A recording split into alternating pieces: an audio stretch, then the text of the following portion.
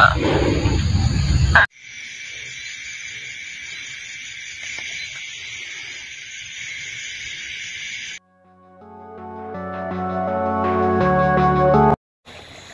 আমরা মাছ সম্পর্কে জানতে চলেছি। বিভিন্ন ধরনের মাছ।